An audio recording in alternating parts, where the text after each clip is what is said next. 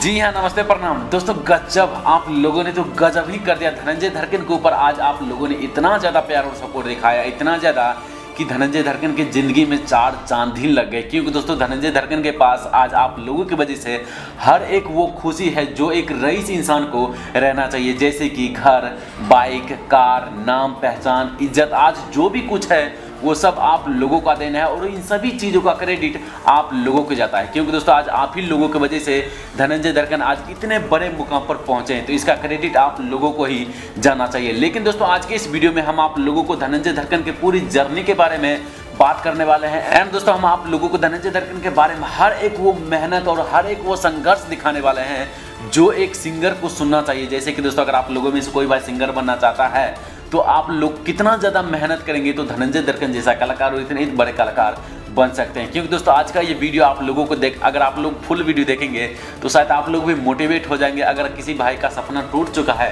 कि मैं सिंगर नहीं बन सकता हूँ, कि जो अगर नया सिंगर कलाकार बनना चाहते हैं तो उन लोगों के लिए आज का ये वीडियो काफ़ी ज़्यादा मोटिवेशनल टाइप का होने वाला है। तो दोस्तों, ये वीडियो थोड़ा सा लंबी हो सकता है तो इसलिए आप लोग इस वीडियो को एंड तक ज़रूर देखिए, क्योंकि दोस्तों, इस वीडियो के थ्रू आप लोगों को बहुत कुछ फ़ायदा होने वाला है। तो चलिए दोस्तों, वीडियो को शुरू करते हैं।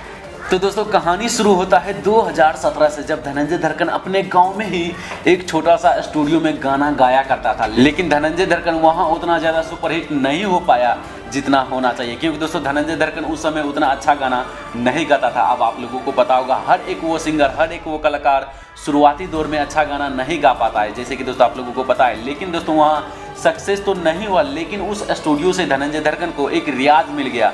गाना गाने का तरीका मिल गया कि कैसे गाना गाया जाता है। जब दोस्तों आप लोगों को बता दें, धनंजय धरकन अपने गाँव में गाना गाता था तो उस समय उतना ज़्यादा उसको रिस्पॉन्स नहीं मिलता था। तो धनंजय धरकन टेंशन में आ गए थे। लेकिन दोस्तों, जब धनंजय धरकन अपने गाँव में गाना गाता था तो धीरे धीरे करके उसको अंदाज मिल गया कि गाना कैसे गाया जाता है और कैसे हिट होता है। तो धनंजय धरकन वहाँ तो गाना गा लिया, लेकिन वहाँ हिट नहीं हो पाता था। तो धनंजय धरकन के पास एक दोस्त था, जो शायद आप लोग उनको अच्छी तरीके से जानते होंगे, एक मिठू मार्शल हो गए।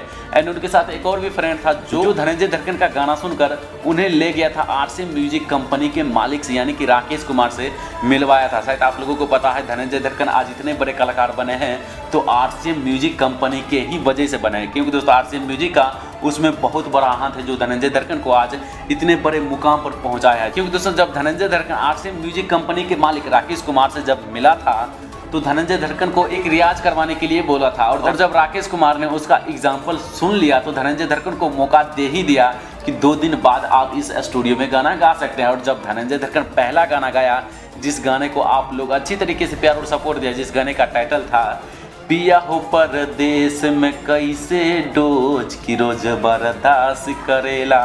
आप लोगों ने इस गाने को इतना ज़्यादा प्यार और सपोर्ट दिखाया कि ये गाना पहले ही गाना इतना तेज़ी से वायरल हो गया, इतना तेज़ी से कि आज अगर आप लोग उस गाने पर व्यूज़ देखेंगे ना तो डेढ़ सौ मिलियन से प्लस व्यूज़ क्रॉस कर चुका, इतना ज़्यादा सुपरहिट हो चुका था। लेकिन दोस्तों, जब ये गाना वायरल हुआ तो उसके बाद लगातार धनंजय दर्किन हिट पर हिट हिट पर हिट सॉन्ग देने लगे। तो आरसी म्यूज़िक कंपनी का मालिक राकेश कुमार समझ गए तो ये एक अच्छा कलाकार है। तो इसका एग्रीमेंट क्रिएट कर दिया था यानी कि एग्रीमेंट बनवा दिया था तीन साल के लिए। जबकि दोस्तों आप लोगों को पता होगा धनंजय दर्कन आखिर इतना ज़्यादा विवाद में क्यों फंस रहा था? धनंजय दर्कन के पास एग्रीमेंट था जो एग्रीमेंट की वजह से Dhananjay Darkan RC music company में बंधे हुए थे। हालाँकि दोस्तों एक डेढ़ साल बाद अब धनंजय दर्कन आज़ाद हो चुके हैं। अब अलग अलग कंपनी से धनंजय दर्कन का गाना आता है। लेकिन दोस्तों हम आप लोगों को बता दें धनंजय दर्कन को आज इतने बड़े मुकाम दिया है तो इसमें आर्ट्स एंड म्यूज़िक का काफ़ी बड़ा हाथ है, जो कि दोस्तों शायद आप लोगों को पता होगा। लेकिन दोस्तों, आज जो भी कुछ है, वो आर्ट्स एंड म्यूज़िक का देना है और आप लोगों का देना है कि धनंजय दर्कन को आज इतने बड़े मुकाम पर पहुँचा दिया है।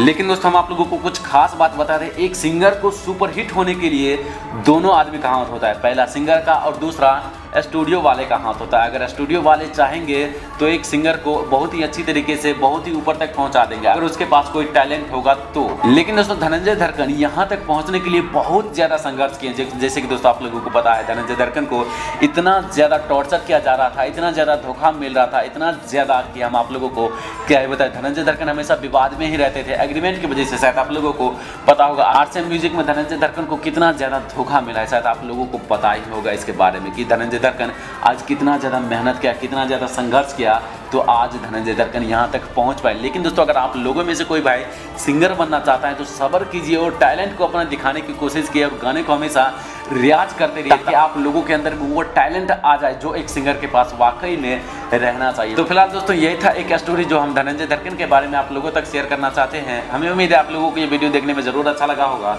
अगर आप लोगों को ये वीडियो देखने में अच्छा लगे तो प्लीज़ इस वीडियो को लाइक शेयर एंड सब्सक्राइब ज़रूर कीजिए। वीडियो देखने के लिए धन्यवाद।